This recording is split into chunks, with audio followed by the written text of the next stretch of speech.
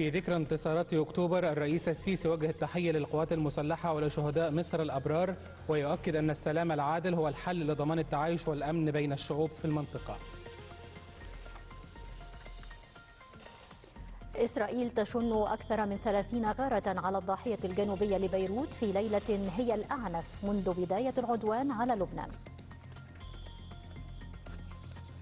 استشهاد 24 فلسطينيا على الأقل في غارة إسرائيلية على مسجد ومدرسة في غزة.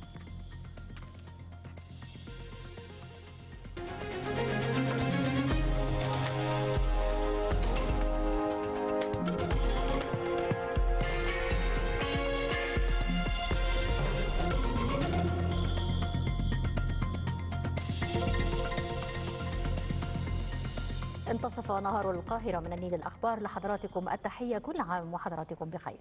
كل عام وحضراتكم بخير. في ذكرى نصر أكتوبر الحادي والخمسين توجه الرئيس عبد الفتاح السيسي بالتحية والتقدير للقوات المسلحة المصرية وكذلك لأجيالها من المحاربين القدامى إلى الأجيال الصاعدة. كما توجه الرئيس السيسي بالتحية لأسر وعائلات شهداء مصر الأبرار من القوات المسلحة الذين ضحوا بأرواحهم فداء لشعبها. شعب مصر الأبي الكريم اسمحوا لي أن أتوجه اليوم بالتحية والتقدير للقوات المسلحة المصرية تلك المؤسسة الوطنية العريقة التي لم ولن تتخلف يوما عن التصدي لتحمل المسؤولية مهما ثقلت وتأدية الأمانة مهما بلغت. تحية لها بجميع أجيالها من المحاربين القدامى إلى الأجيال الصاعدة. وسلاما على شهداء مصر الأبرار من القوات المسلحة الذين ضحوا بأرواحهم فداء لشعبها وتحية لأسرهم وعائلاتهم الذين تحملوا قسوة الفراق وقدموهم ثمنا غاليا ليعيش الوطن كريما مطمئنا. كما توجه الرئيس السيسي بتحية احترام وتقدير إلى روح البطل الشهيد الراحل الرئيس محمد أنور السادات. نعم الرئيس السادات بطل استرداد الكرامة والأرض بالحرب والسلام. كما نتوجه بتحية احترام وتقدير متجددة إلى روح البطل الشهيد الرئيس محمد أنور السادات. بطل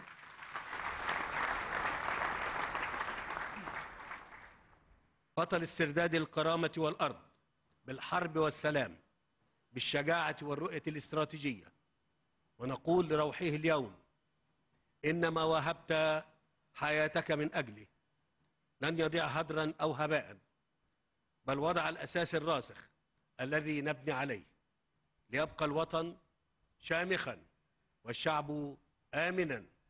يحيا مرفوع الرأس على أرضه لا ينقص منها شبر. ولن ينقص بإذن الله. وهذا وعدنا وعهدنا لشعبنا العظيم. وفي كلمته جدد الرئيس التأكيد على أن السلام هو الحل الوحيد لضمان التعايش الآمن والمستدام بين شعوب المنطقة. وأكد الرئيس السيسي موقف مصر الثابت بضرورة إقامة الدولة الفلسطينية المستقلة كسبيل وحيد لإرساء السلام والأمن. إن اللحظة التاريخية الفارقة التي تمر بها منطقتنا اليوم تدعونا للتأكيد مجددا بأن السلام العادل هو الحل الوحيد لضمان التعايش الآمن والمستدام بين شعوب المنطقة وأن التصعيد والعنف والدمار يؤدون إلى دفع المنطقة نحو حافة الهاوية وزيادة المخاطر إقليميا ودوليا. بما لا يحقق مصالح أي شعب يرغب في الأمن والسلام والتنمية. ومن هذا المنطلق فإن مصر تؤكد موقفها الثابت. المدعوم بالتوافق الدولي بضرورة إقامة الدولة الفلسطينية المستقلة كسبيل وحيد لإرساء السلام والأمن والاستقرار للجميع.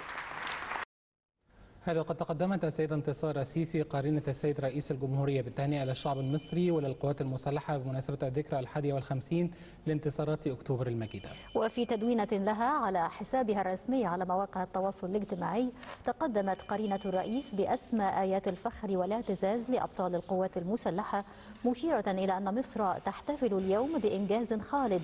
في تاريخ الأمة صنعه رجال آمنوا بوطنهم واستقلاله. كما تقدمت قرينة الرئيس بالتحية للشهداء الأبرار والشعب الذي يقف دائما سندا لجيشه.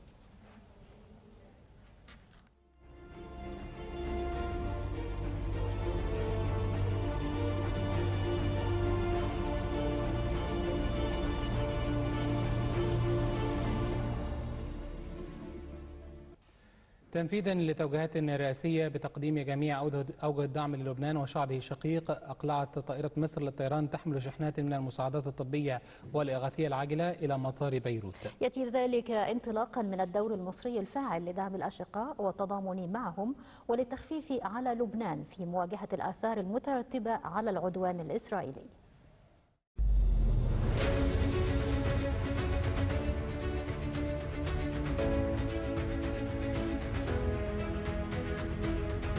تنفيذا لتوجيهات السيد الرئيس عبد الفتاح السيسي رئيس الجمهورية القائد الأعلى للقوات المسلحة بتقديم الدعم والمعاونة إلى دولة لبنان. أقلعت طائرة مصر للطيران. طراز بوينج 777 من مطار القاهرة الدولي. محملة بعشرات الأطنان من المساعدات الإنسانية المقدمة من الدولة المصرية للشعب اللبناني الشقيق للتخفيف من معاناتهم غير المسبوقة التي يعانون منها جراء العمليات العسكرية الراهنة وشملت المساعدات الطبية والإغاثية المقدمة. كميات كبيرة من الأدوية والمستلزمات الطبية والخيام والبطاطين لدفعها إلى المستشفيات اللبنانية والمناطق الأكثر احتياجا. يأتي ذلك انطلاقا من الدور المصري الفاعل تجاه الأشقاء وتقديم الدعم والتضامن لهم في مختلف المحن والأزمات.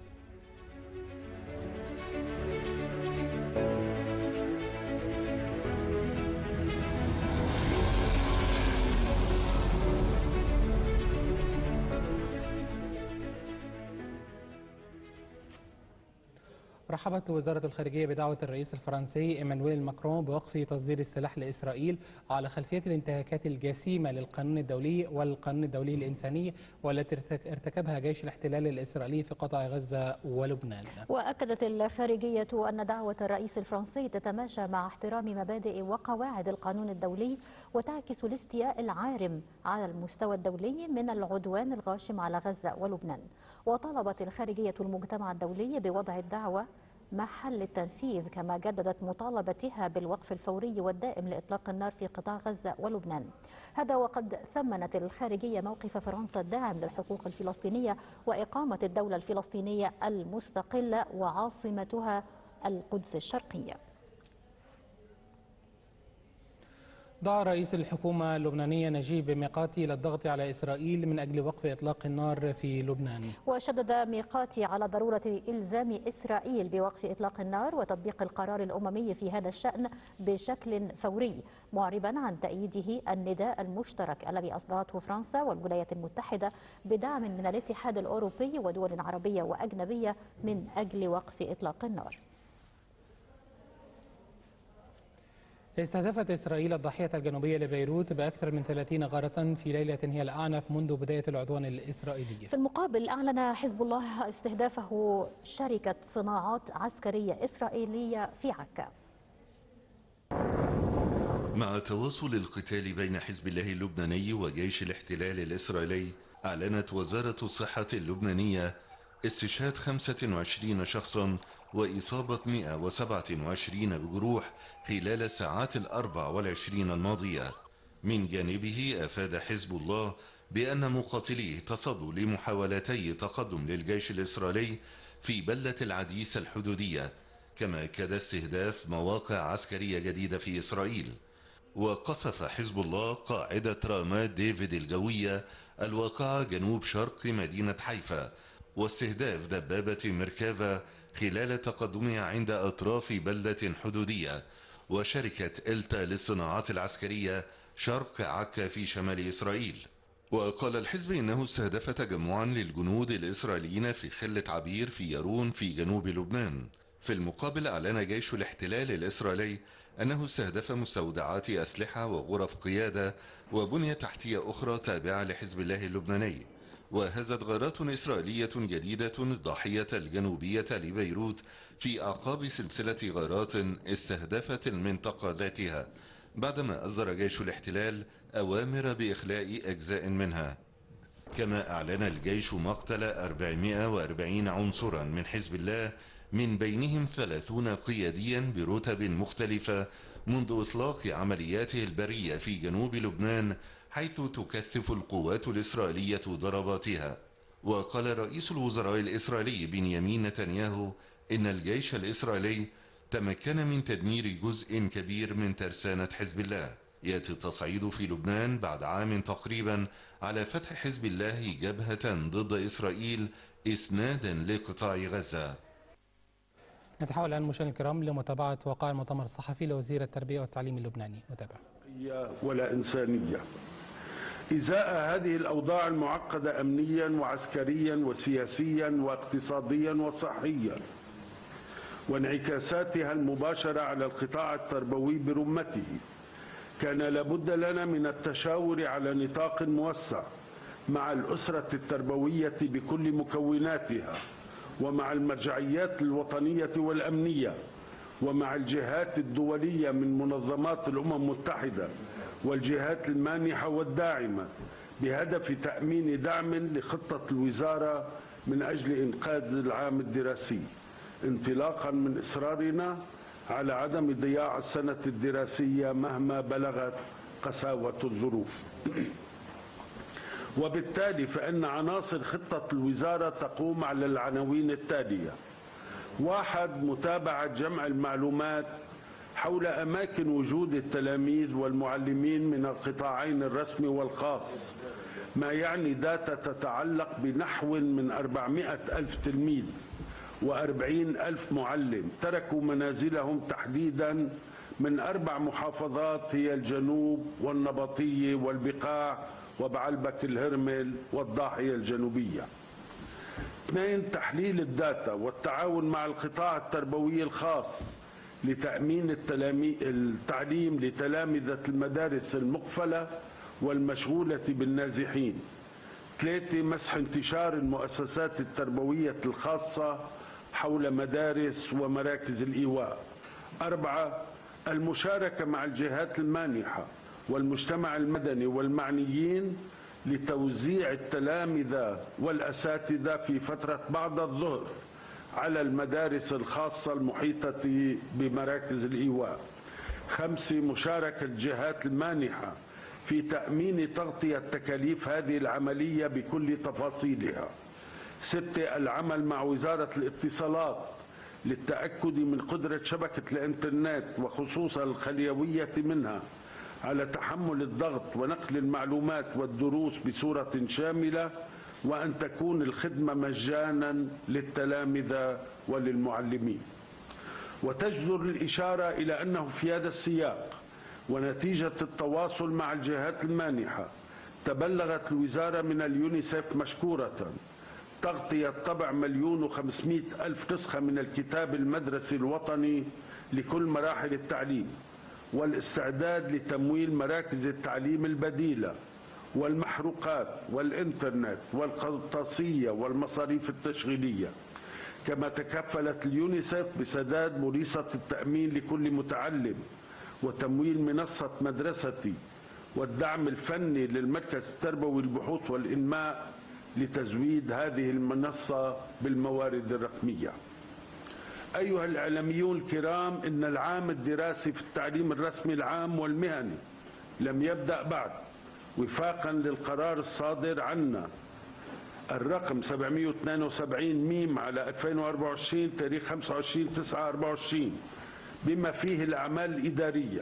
وفي المقابل فإن عددا من المدارس الخاصة قد باشر عامه الدراسي في شهر أيلول الفائت.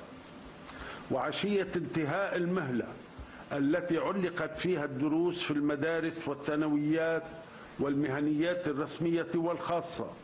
وفي مؤسسات التعليم العالي الخاصة والجامعة اللبنانية والمحددة بمساء اليوم الأحد 6 أكتوبر الجاري. وبعد المشاورات الكثيفة التي أجرتها وزارة التربية والتعليم العالي مع الجامعة اللبنانية ورابطة جامعات لبنان وجامعات أخرى واتحاد المؤسسات التربوية الخاصة ونقابة المدارس الخاصة في الأطراف.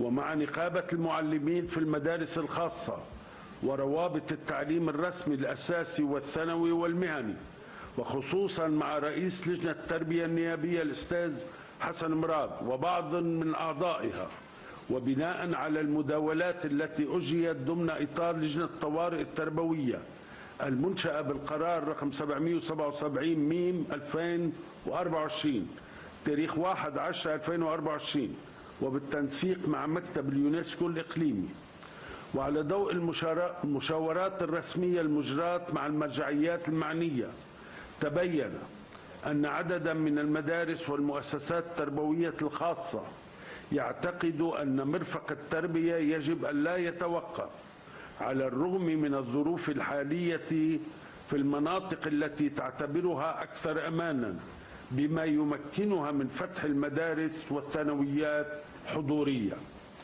كما أن أغلبية المدارس الخاصة الأخرى ترى أن ليس باستطاعتها نتيجة العدوان والنزوح والحالة النفسية لتلامذتها إسداء التعليم الحضوري أو من بعد.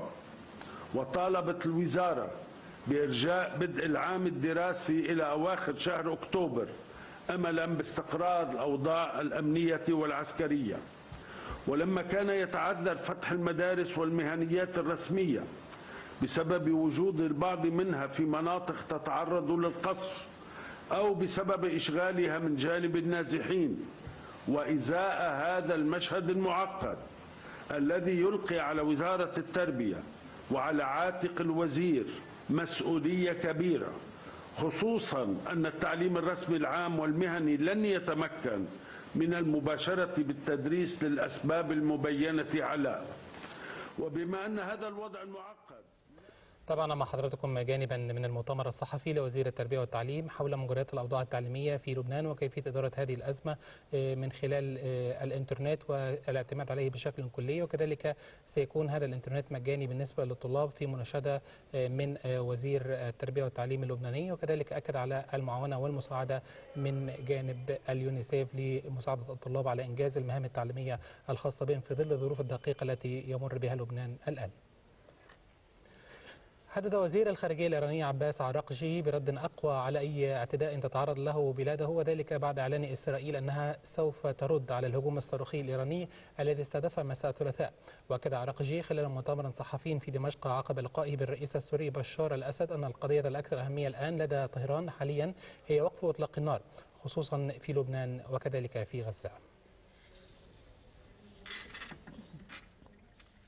كان رئيس الوزراء الإسرائيلي بنيامين نتنياهو قد أعلن أن إسرائيل سترد على الهجمات التي تشنها إيران مساء الثلاثاء الماضي وقال نتنياهو كذلك أن طهران أطلقت مئات الصواريخ على المدن الإسرائيلية في مرتين متتاليتين ما يوجب الرد على هذه الهجمات.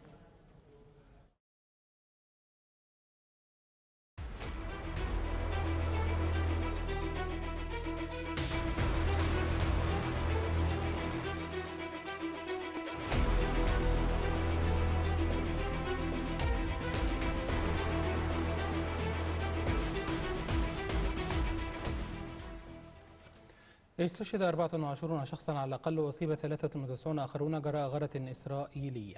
استهدفت الغارات التي وقعت فجر اليوم مسجدا ومدرسة يؤويان مئات النازحين في دير البلح بوسط قطاع غزة. وزعم الاحتلال أن الضربة استهدفت عناصر من حركة حماس كانوا يعملون داخل مركز للقيادة والتحكم بالمنطقة. في غضون ذلك أعلن الجيش الإسرائيلي أن قواته تطوق مدينة جباليا في شمال القطاع بعد تقييم أفاد بأن حركة حماس تعيد بناء قدراتها بالمدينة.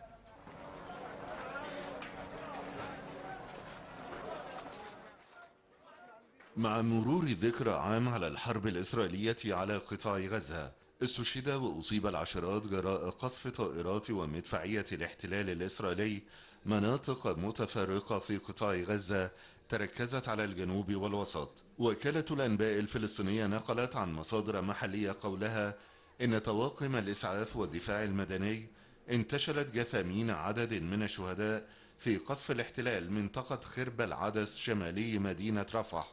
مضيفة أن مدفعية الاحتلال قصفت مخيم البريج وسط القطاع ما أدى لاستشهاد وإصابة عدد من المواطنين. كما قصفت طائرات الاحتلال عمارة سكنية بحي الزيتونة جنوب شرق مدينة غزة. كذلك قصفت مدفعية الاحتلال محيط مدرسة عين جالوت بحي الزيتون في حين استهدف طيران الاحتلال الحربي منطقة اتصالات الفلوجة غرب مخيم جباليا شمال القطاع. وفي حصيلة غير نهائية ارتفع عدد الشهداء منذ بدء الحرب الإسرائيلية على القطاع منذ السابع من أكتوبر الماضي إلى نحو 42 ألف شهيد غالبيتهم من الأطفال والنساء فيما بلغ عدد المصابين أكثر من 99 ألفا.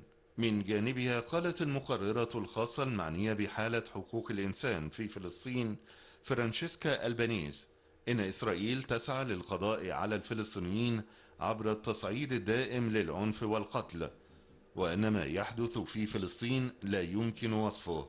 وشددت البنيز على ضرورة تحمل الأعضاء في هيئة الأمم المتحدة مسؤولياتهم تجاه الفلسطينيين ووقف الإبادة الجماعية التي ترتكب بحقهم محذرة من خطورة تفاقم الأوضاع في حال عدم تحمل كافة الأطراف مسؤوليتها تجاه ما يحدث في الأراضي الفلسطينية. رحبت وزارة الخارجية الفلسطينية بتصريحات الرئيس الفرنسي إيمانويل ماكرون الداعية لوقف تصدير السلاح في إسرائيل والتركيز على إيجاد حل سياسي. واعتبرت الخارجية الفلسطينية تصريحات الرئيس الفرنسي تتسق تماما مع القانون الدولي وقرارات الشرعية الدولية وتدعم حل الدولتين ومبادئ حقوق الإنسان مطالبة الدول التي ما زالت تدعم إسرائيل في حربها باحترام وتطبيق القانون الدولي والضغط على سلطة الاحتلال غير الشرعي لإنهاء حرب الإبادة الجماعية ضد الشعب الفلسطيني في القطاع والضفة وإجبارها على الانصياع للقانون الدولي وتنفيذ قرارات الشرعية الدولية. وحملت الخارجية الفلسطينية الدول التي توفر الوسائل القتالية والحربية لإسرائيل حملتها المسؤولية في تشجيعها على المضي بجرائمها وانتهاكاتها ضد الشعب الفلسطيني. ومع تواصل العدوان الإسرائيلي الغاشم على قطاع غزة أعلنت وزارة الصحة في غزة استشهاد نحو 41870 فلسطينيا فضلا عن إصابة نحو 97 و 97166 آخرين منذ بدء الحرب على القطاع في السابع من أكتوبر الماضي. أيضا أعلنت وزارة الصحة الفلسطينية أن قوات الاحتلال ارتكبت ثلاث مجازر خلال ال 24 ساعة الماضية. راح ضحيتها 45 شهيدا و256 مصابة مشيرة إلى أنه لا يزال عدد من الضحايا تحت الركام وفي الطرقات.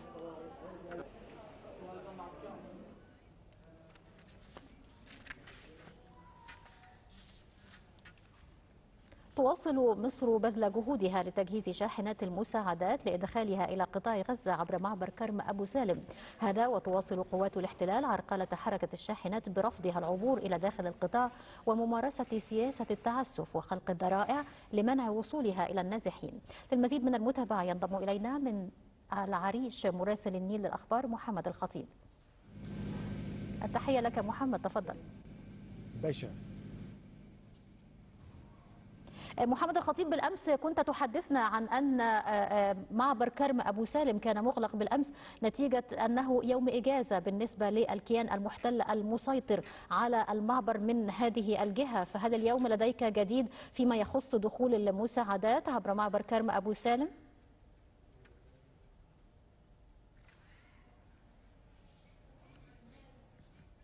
محمد الخطيب أنت معنا من رفح الآن. تتابع بالتأكيد عملية سير دخول الشاحنات المساعدات والمقدمة من مصر. فإلى أي مدى تشعر بسيولة ومرونة في دخول هذه المساعدات عبر معبر كرم أبو سالم؟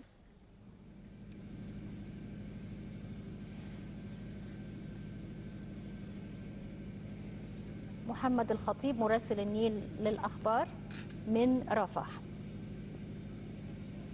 أشكرك. شكرا جزيلا وسنعود بالتأكيد لمتابعة مجريات الأحداث معك وتدفق آه، سيل وسير الشاحنات شاحنات المساعدات المقدمة من مصر. أشكرك الخطيب ونعود لك بعد قليل. وإلى الانتخابات الرئاسية التونسية حيث بدأ الناخبون في تونس الإدلاء بأصواتهم لاختيار رئيس جديد للبلاد من بين ثلاثة مرشحين يتقدمهم الرئيس المنتهية ولايته قيس سعيد ويتنافس سعيد مع النائب السابق زهير المغزاوي والعياشي زمال رجل الأعمال والمهندس والمسجون بتهم تزوير توقيع توكيلات. ويحق لأكثر من تسعة ملايين تونسي بينهم. 642 ألف ناخب بالخارج التصويت في الانتخابات الرئاسية. من المتوقع أن تعلن الهيئة العليا المستقلة للانتخابات النتائج الأولية على أقصى تقدير يوم الأربعاء المقبل.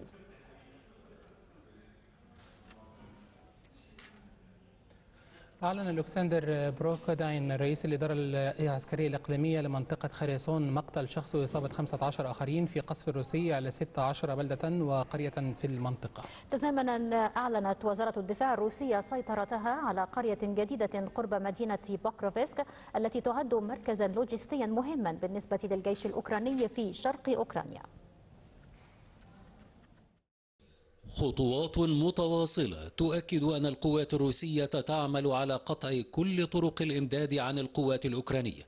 الجيش الروسي أعلن سيطرته على قرية أخرى في شرق أوكرانيا بينما أكدت كييف مقتل خمسة مدنيين في قصف روسي على جنوب البلاد وشرقها. وزارة الدفاع الروسية قالت إن قواتها سيطرت على بلدة في إقليم دونيتسك الأوكراني.